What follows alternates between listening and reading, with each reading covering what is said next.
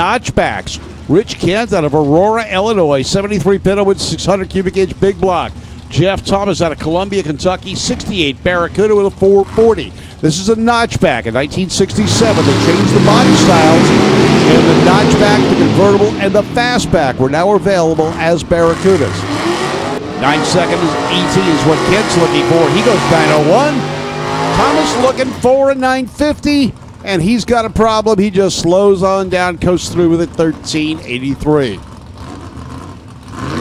Chevy Chevette, or depending on your experience with them, it could be a Chevette.